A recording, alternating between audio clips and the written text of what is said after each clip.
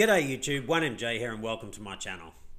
Well, what I wanted to do today was something a little bit different and I wanted to show you some positions uh, that I got into some uh, coins that aren't paying off at the moment. So I'm in the negative, I'm down a few percent. Now this is the one that I'm down the most in, Unibright. And I'm not trying to bag Unibright, I'm just trying to give you a perspective of, you know, if you're not, uh, you know, seeing profits, it doesn't automatically mean you should just sell. It depends. If I was a trader, like a day trader and things like that, I would have got out of these a long time ago, but I'm not. I'm an investor, and I'm going to show you why I don't just simply jump out of uh, any positions too quickly without sort of checking. Now, in all fairness, Unibright, I didn't do any research on this when I bought into it. I just saw a lot of stuff on Twitter, on YouTube, and things like that, and I was like, this sounds like a good project. I want to buy into it.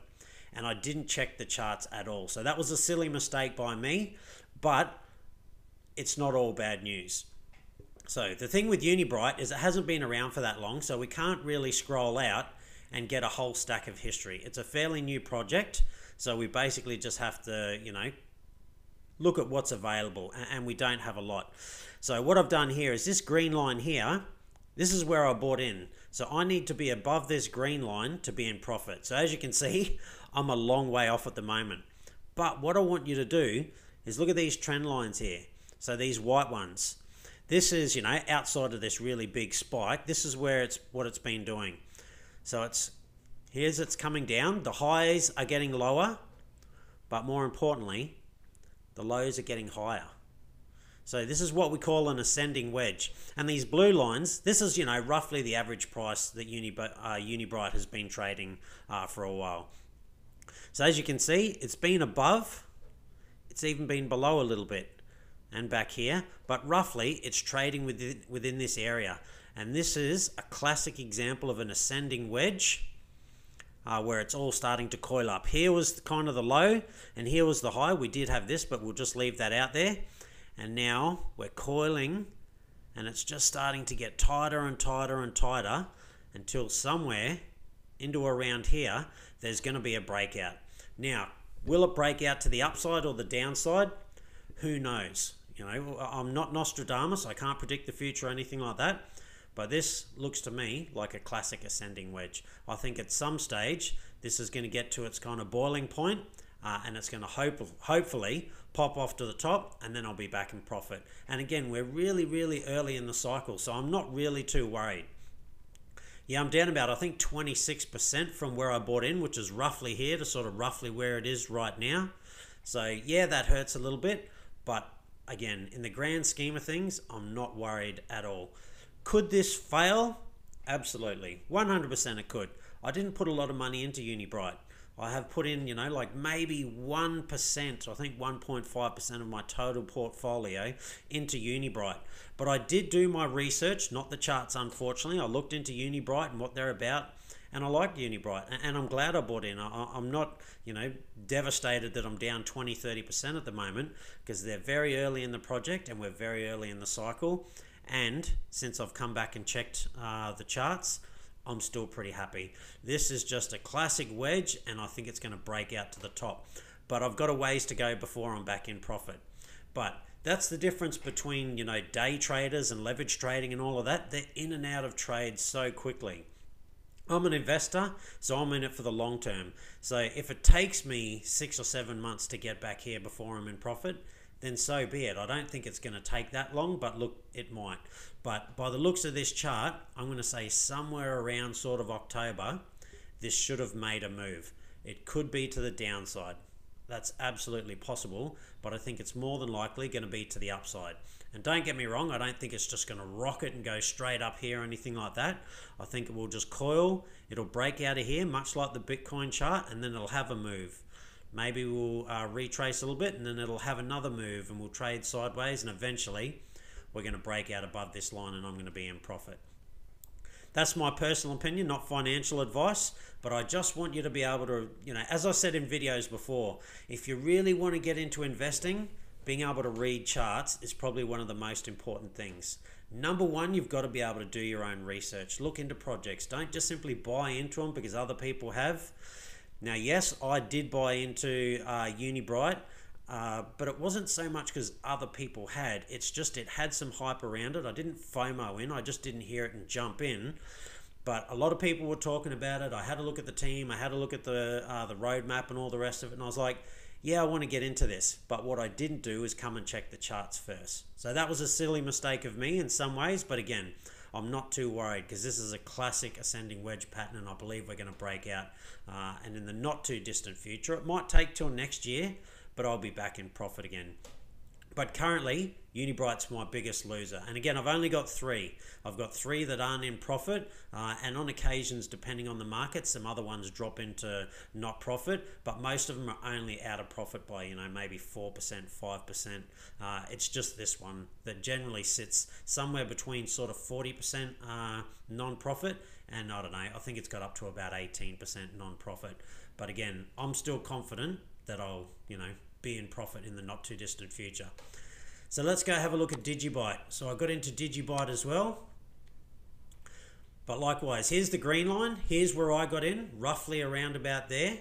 And so it's going down. So again, I'm out of profit at the moment. I think I'm about 5 or 6% or something like this on Digibyte. But we need to have a look at what the overall trend is. So it had this massive spike up here, and yes, it's had a really hard sell off. Obviously, come a long way down tipped off here.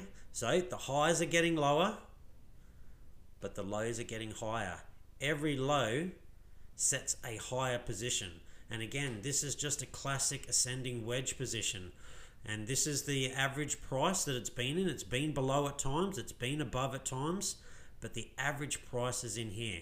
So it's currently sitting in uh, its average price, but we're oh so close to that trend line. Now, look, I could be wrong and it could break to the downside. Who knows? Again, I'm not Nostradamus, I'm not a savant, I can't predict the future, but I do understand charts. I've been able to read them, I've been looking at them for a while, and most of the time, the charts, you know, give you a good indication of what happen, what is going to happen.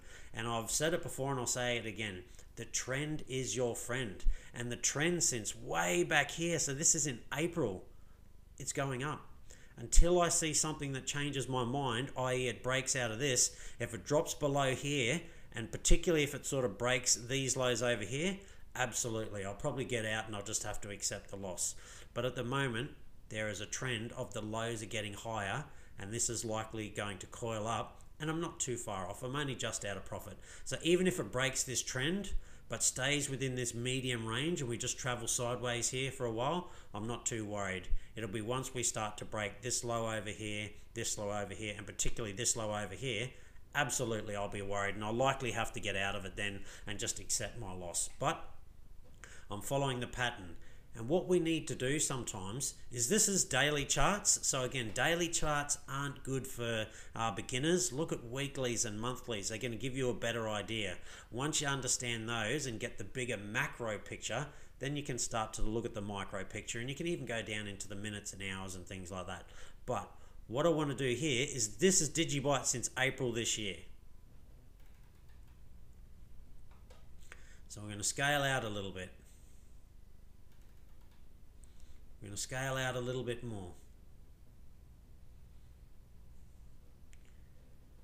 We've been here before. We've been well above here before. Now let's see if this chart will go back far enough. It might not, but Digibyte's been a lot higher before. All right, this is only going back to 2019, so it's not going to show. But we have been above these levels before and way above these levels before. So that is why I'm not too concerned. Again, that's my price I've bought in. I'm out a little bit, so be it. Digibyte uh, has uh, it's been around for a little while and it's been higher than where we are before. So again, we've been way up here. So we've been above this high before. And I'm sure if I found another chart, uh, it'd go back even further. So I'm in loss at the moment, but I'm not panic selling. This is the key indicator. Again, we've been above this price before and we are now in an uptrend, an obvious uptrend. Yes, we're going to have spikes where it goes really high, but the lows, and really since back here, since the 25th of March, so that's basically right after uh, the pandemic. The pandemic, I think, was somewhere here back in March. We had that sell off. Since then, it's just getting higher. Every low is a new high. I don't know what else to say. I, I expect this to break out to the upside. And it's the charts that are telling me it's not a 100% rule. Sometimes it's wrong, sometimes it's deceiving. But the macro trend, so the overall trend of cryptocurrencies, is they are on the way up at the moment. But they don't just go skywards all the time. Like this is unsustainable. That's why it had such a heavy correction. Let's get the measuring thing out. Let's go from, let's just go from here.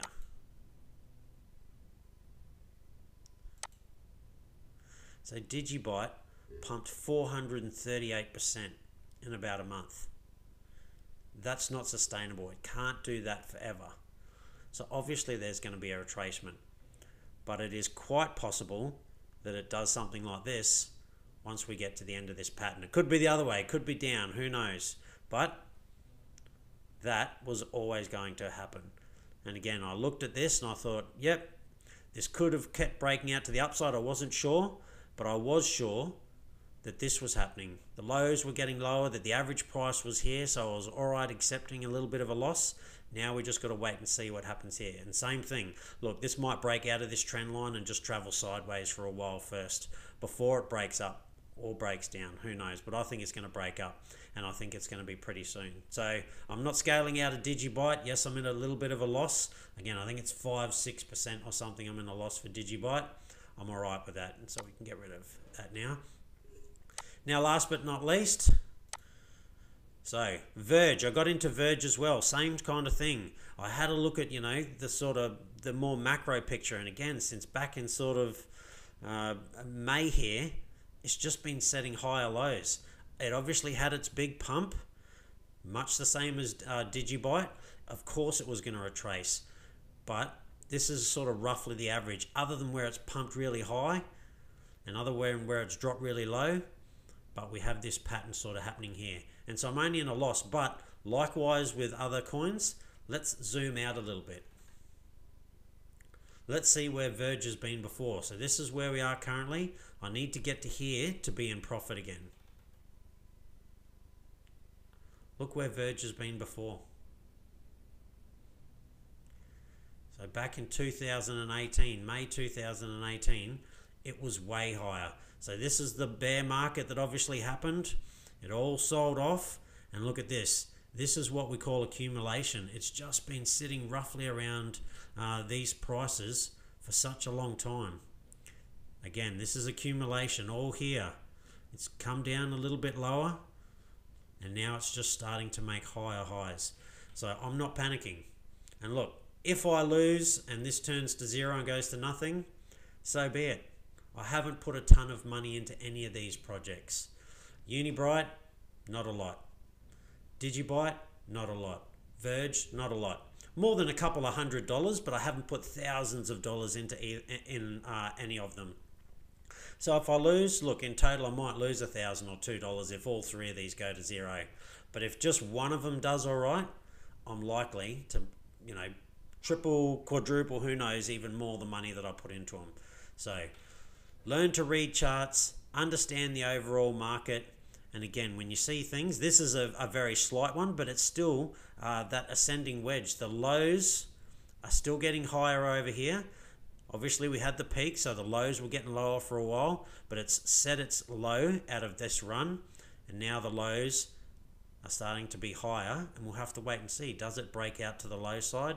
This is the average price range roughly, or is it going to break out to the upside? Last but not least, let's go over to Bitcoin. So Bitcoin, we're still trading within that range. So again, that roughly 11,000 kind of 300, you can say down to 11,200, up to 11,000 kind of 900 dollar range. Yes, we've broke out above, uh, and it was a, a fake out. We pulled back back down below, but again, we've really set our low, so we can take this low and drag it down just a fraction. We won't worry about the wicks too much.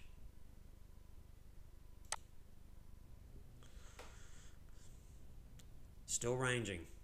It's probably going to range for a while. We'll have to wait and see. But it is the weekend, so the weekend's here. Traditionally, there's a bit of a sell off over the weekend of cryptocurrencies, but not always. There are weekends where it does the complete opposite and really pumps. So we'll have to wait and see. Now, these uh, lines are different. This green line isn't my buy-in line. I bought in uh, a lot cheaper.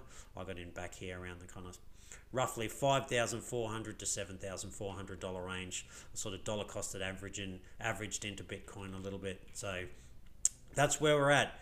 Bitcoin still ranging, waiting to see what happens, but we're outside these trend lines. And the same as the other charts. This is the daily charts. It's hard to understand what the trend is sometimes, particularly if you're new. Go to the bigger time frames. But if you do decide to use the daily charts, let's just scale out. Let's see where we're at. This is going to take a, a minute or two. All right, we've been here before. This is not the first time Bitcoin's been here. And it's been higher. And this is that, again, ascending wedge. It's done this before. So the lows are getting higher. The highs are getting lower. But this time, we've broken out of uh, the trend lines. And now we're just waiting to see what it's going to do. Could it come back uh, and bounce off this trend line? Absolutely. I don't think it's going to. I think it's possible we come back and bounce off the 10,500, but I think it's more likely we do a little bit of sideways trading like we did here in this range before we finally break up and get to this $12,500 level. We'll probably push through it and then we'll come back and use start to use it as support. Anyway, that's it from my spiel. So again, we got to look at the broader range of things. I'm not worried about any of these trades. Number one, I haven't put uh, they're not trades. Uh, they're just uh, buy-in positions.